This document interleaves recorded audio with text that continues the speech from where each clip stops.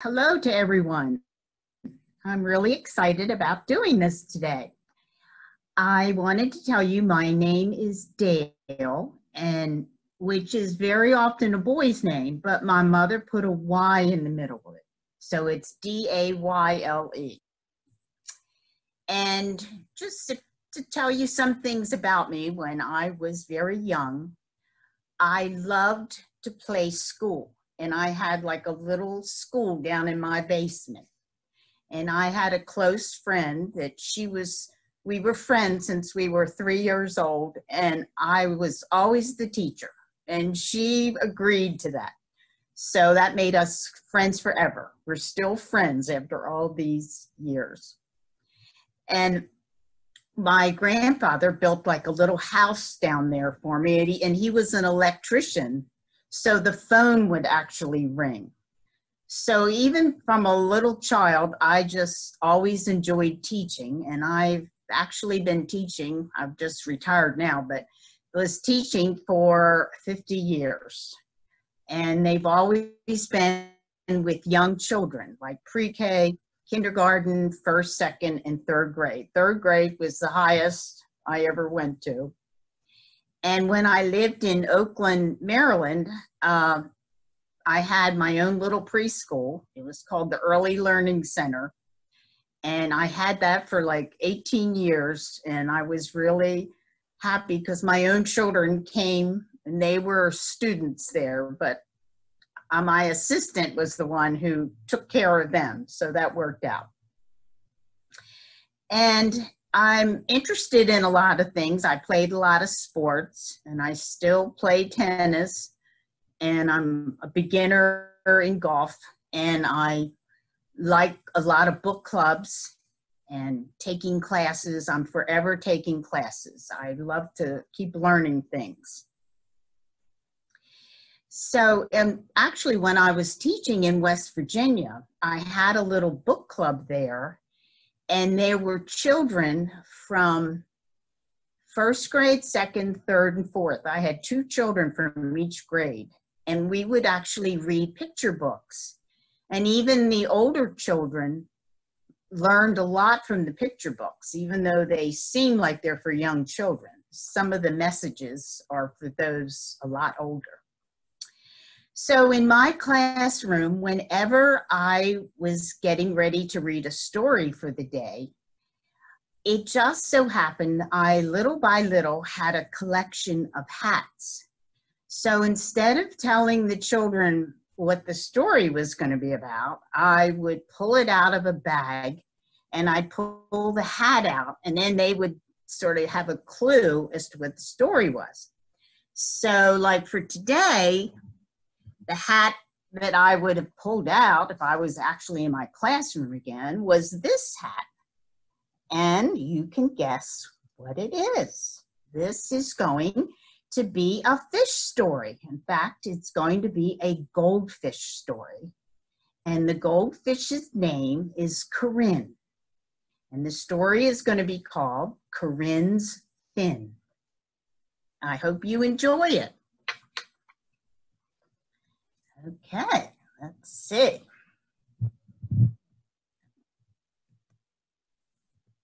I'm going to bring the book up so you can see it. There we go. And I should tell you that my illustrator, Ashley Teets, and she is now Ashley Teets Belante, she sent me the picture of her creation of Corinne. It was actually on the day when my one and only little granddaughter was born. So it was very exciting. I felt like I had two little babies come at the same on the same day.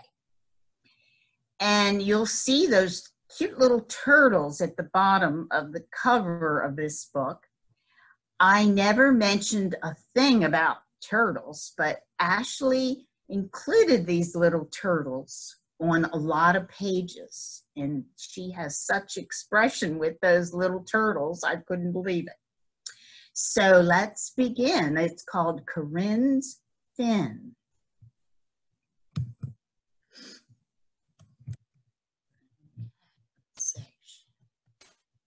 All right, this is the opening part of the book. And if you'll notice the blue color is just beautiful. Ashley picked a beautiful color of blue. I was worried at first when she was going to do the story because I thought, oh my goodness, the whole story is underwater. But you'll see what she was able to do. Now, this page, where it has both our names on it, this is where I wind up signing, like if I someone buys a book or I give them a book, I'll write their name on this page, and I usually write like a secret message on the page, which has been a lot of fun. And you'll see the name headline uh, kids at the bottom. This is part of headline books. Okay, now when you write a story, usually people dedicate the story to somebody. So for this story, I dedicated it to my three daughters, Erin, Shannon, and Meghan, who taught me a lot of life's lessons throughout the years. You can learn from your children too. Now, this is the beginning of the story. Corinne could swim from shore to shore, from dawn to dusk, and from season to season. Now, you might wonder what dawn to dusk means. Some of you may know. It's from early morning till early night. And season to season, we have four seasons. You might know what they are. There's summer, fall, winter, and spring. And I never imagined that Ashley would think about putting little hats on some of the fish. But you can tell where winter is and where fall is. And in summer, we have lots of flowers. Well, Corinne would win lots of ribbons, and her underwater bulletin board was filled with first place blue ribbons. Corinne won every goldfish race at Lavender Lake every summer, every fall, every winter, and every spring. And if you ever go to a state fair, you might realize that whoever wins first place will get a blue ribbon. So they're very excited about that. So I made all of Corinne's ribbon a blue ribbon. You can see those cute little turtles hiding on lots of these pages. Baby fish would come and say, Corinne, please show us all your pretty Oranda goldfish ribbons again. We want to win some races, some racing ribbons one day. They couldn't help but stare at her fire engine red lips. Oranda goldfish, it's a special kind, and they actually have a, a special head on them. And many of them actually have reddish lips. And Ashley was able to put those red lips on Corinne. Well, their strength, her strength was deep within her magnificent flowing fins. They could swish extra water with each swirling stroke across the small lake from start to finish. Corinne practiced her swimming strokes every day in the middle of the shimmering water near the no fishing sign. No fishing signs also surrounded the edge of Lavender Lake amid the purple flowers. There were families having picnics around the lake this, around the circle of purple flowers, and they were enjoying some lavender cookies for dessert. If you want to be a good swimmer, you have to practice. And actually, Michael Phelps, the champion swimmer, lives very close to me. I've seen him in little parades in town. And he practiced at least almost eight hours a day to become such a good swimmer.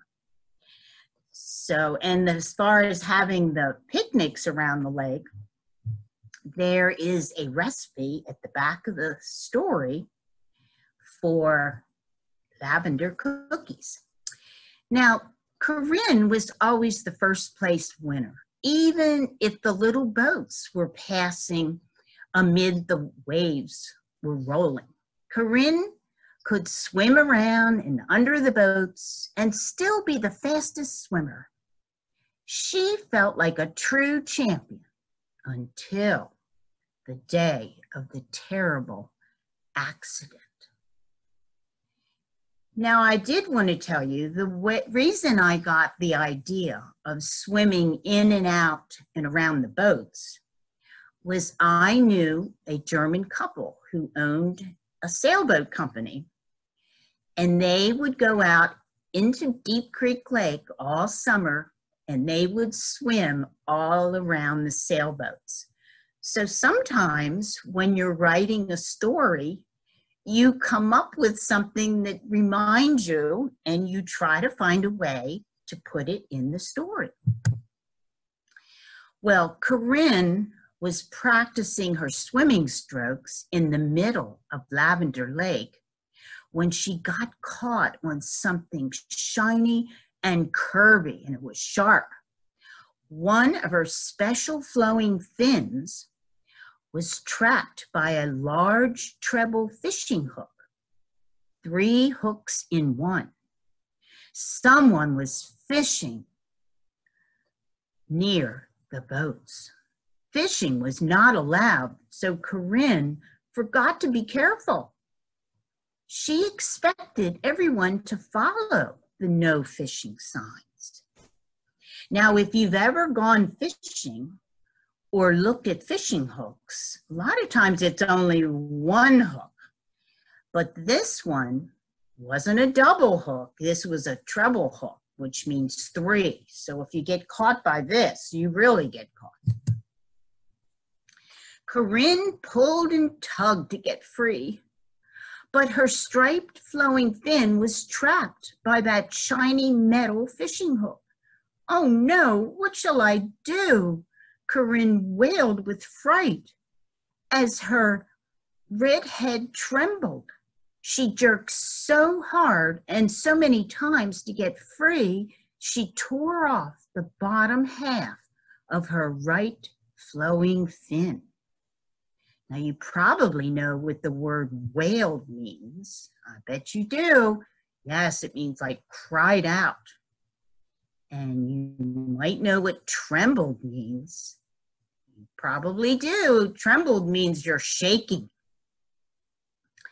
Well, the fin, it floated away like a toy sailboat as a small wave rippled by. Corinne was finally free, but with only half a flowing fin. Oh no, what happened? I lost half of one of my strong swimming fins, sobbed Corinne. Corinne cried and cried. Not only was her fin ripped, her heart was broken. Her dreams were shattered. When Corinne tried to swim, she could only glide around in large circles. The half fin could not keep up with the other strong fin. So around and around she would circle. And if you notice, Ashley put these little curvy lines on the page and you really got the feeling that the water was going around as Corinne was trying to swim. It adds movement to the page.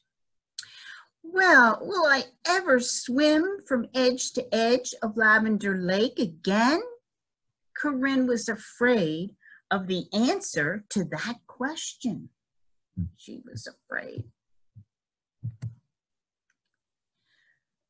Well, her friends tried to comfort Corinne. Her friend Bluebell felt sorry for Corinne. She cried out loud whenever she tried to talk to Corinne. Oh, Corinne, why did this happen to you?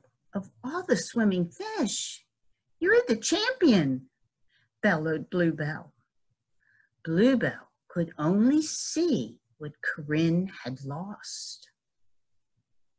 So she was trying to help, and you can find the two little turtles there. They're trying to be friends too and help each other because you probably have a friend. And friends try to help each other. That's the beauty of having friends. I'm very lucky because I do have lots of friends. Well, here comes her other friend. Now, her friend Flame was so mad about that three way fish hook that his scales would bristle and shiver. Why don't people follow the laws like they should? Flame was so angry he could not help Corinne. Now, bristle, you might know what that word means, but if something is going to bristle, it's going to like stick up, almost like the porcupine. The spikes on the porcupine will stick up. So he tried to help her too, but that wasn't it wasn't working. He couldn't really help her. He was so mad. You can find a little turtle there too.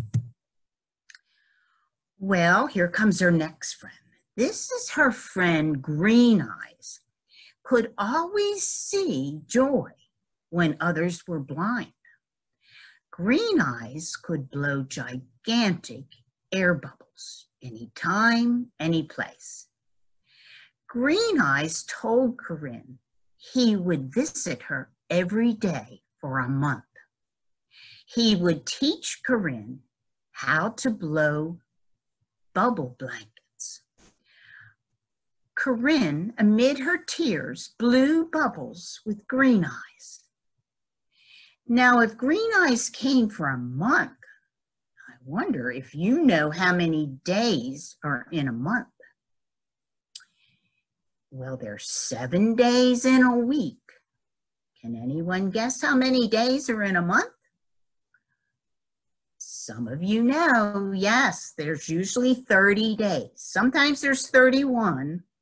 And if it's a special month, it only has 28 or 29. So they're going to blow these blankets. Now the bubbles gathered together like frog eggs and they formed a bubble blanket. Corinne rested under the bubble blanket for a while each day. New thoughts grew while she was under the crystal clear covers. Corinne found a new Corinne. Her friend Green Eyes believed in Corinne, and now Corinne believed in herself. Wow, that was exciting. It took a while. It didn't happen right away. Because sometimes we change our thinking. We thought one way, but we learned to think a different way. Well, Corinne chose a new path. She encouraged the young fish to swim out far into the gentle rippling lake to see all the wonders and then come back and to the edge and tell her of the surroundings and their adventures.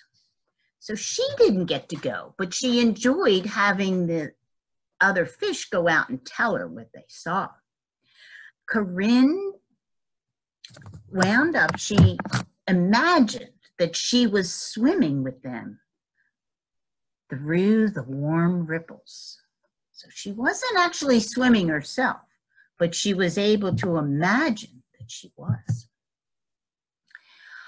All the young fish gathered around Corinne to learn the secrets of swimming far and fast. They practiced every day to get ready for the goldfish races at Lavender Lake. Please, Coach Corinne, teach us all that you know, they pleaded. And so she did. Ready, swimmers? Swish, swish, right, left, swish, swish, faster, faster, swish, swish. And look how Ashley gave Corinne that little whistle. I just love the pictures that she had. And maybe you can find that cute little turtle in this picture. And one fish is holding a sign that says G-O. Some of you probably know that word. Yes, you're right. The word is go. Well, Corinne loved to listen and coach the young fish before and after a day of strong swimming. She would write their adventures as if they were her own. She had little storybooks. The young fish loved to visit her waterproof library and read her stories, especially Water Secrets, Franny's First Win, and Champion Forever. Corinne was so busy coaching and writing, she had no reason to cry about her missing half fin anymore. Corinne was ready to watch others swim the races at Lavender Lake every summer, fall, winter, and spring. There she is. Ashley had her writing away on the stories. Oops, sorry. Let me go back a page. This is the last page.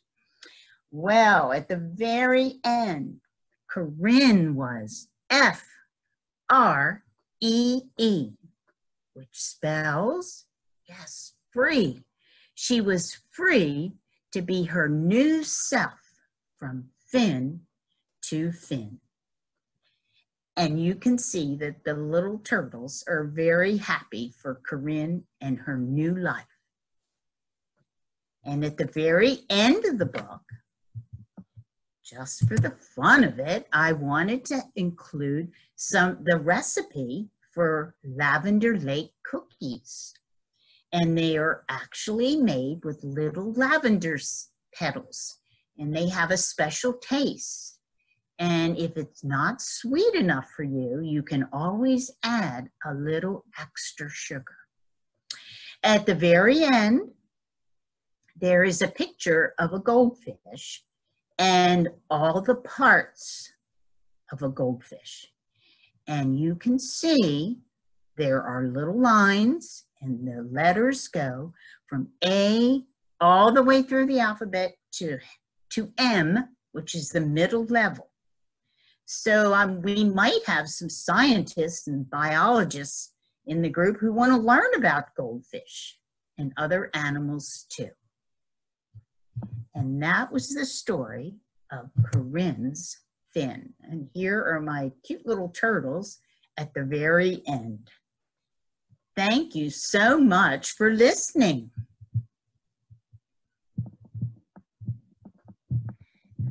Okay. Good. I hope you enjoyed the story. Now, I had some things that, since we are living in the time of the virus, this is a very unusual time, and we're not able to do all the things that we were used to doing. So I came up with some things that you might think about doing during this time. You might do some different things. You might write some stories. And if you can't write the words, you can tell the words to your grown up. And then they can write down what you say. And you could draw the pictures too. You could create some little bag puppets and you could make do some little puppet shows. That might be fun to do during this time. And you might have some outside adventures. I like to walk in the woods a lot so you might do some nature walks with a grown-up you might collect some leaves and then try to learn what the name of the tree is and study the leaf. They're all different. One year when I was teaching, one of the really fun things we did in winter is we went outside and painted the snow. It was so much fun. I think I enjoyed it more than the children. Now, one good thing about how, taking a walk it's very important to sometimes go the same on the same path because you'll notice more. If you take the same walk through all the seasons you'll be able to see things how they really change. And a lot of times when i was teaching in west virginia I would go to Cathedral State Park and walk the trails in there. And it got to the point that I just almost knew the trail by heart. And other times in Maryland, I would go to Herrington Manor and walk the yellow trail. And I would see the ferns and all the different flowers, the wildflowers when they would come up. So it's fun every once in a while to always take the same path. You'll be surprised what you notice. Uh, now, you might want to help your parents during the virus season because life is very different for them. Some of the moms and dads can't even go to work because they're busy at home and they have other things they have to do. So you might want to be extra pleasant to your parents. Like maybe try to tell them some jokes or make up some funny things so you can get them to laugh. And you might talk about some of your favorite things that you used to do and some of the new things that you're doing. And you can also talk about maybe things that you've missed during this virus time, things you used to do, but you can't really do now. So, one thing that happened in my neighborhood is my neighbor has two little boys, and one of the boys was having a birthday. I think this was in March. I'm not exactly sure of the month but nobody was going anyplace. But all of a sudden, I looked out my window and I saw some cars with balloons hanging out the windows, and it was really cute. They had like a drive by birthday party. So sometimes you'll be very creative and think of really different things to do. Okay, if anyone is interested in, in the book, I have lots of books of Corinne's Fin. You can go to my website, which is www.dayledabney.com. My email address is dayledabney at gmail.com. And don't forget to put the Y in. And also headline books. They sell the, they have the storybook too, and so does Amazon. But if you want me to write a special message, you'll probably have to get it from me, or I can arrange to write it, write a secret message in there for you. Okay. Um, Dayle, we do Yes. have, we do have a question. Um, someone- Okay. Someone has asked if you have a new book coming out. Well, actually, I do. I'm so excited that Corinne is going to have a sequel. And a sequel means it's like the story continues. So I don't want to tell too many secrets, but there is something about a swim team. And I love swim teams because my daughters were on a swim team for years and years and years. I drove over to Alpine Lake for 13 years. And so that's what's going to happen to Corinne, and certain things are going to happen. So I don't want to tell too much. I do have some other stories that I've written, but they're not published yet. But if you write stories, you always have to try to make them better. And I'm in a little writing group. There's five of us, and we meet once a month. Well, now we're doing it on Zoom because we can't quite meet. But each month, we send each other something we've written. And then when we get together, we talk about it and we share ideas. And they helped me with things for Corinne, like when Corinne changed her thinking, uh, at first I had it happen too quickly. And one of the writers said, Oh, she's going to need more time to change her thinking. So that's when I had her under the bubble blanket for longer. Yes. Thank you, Dayle. This has been so much fun to have you on Zoom into Books. Thank you, everyone on Facebook, for joining us. And Dayle, I hope you'll come again soon. Okay, thank you. This was great fun. I love teaching and I never really wanted to retire, so this is a little bit like it. Thank you, Kathy, and Headline Books.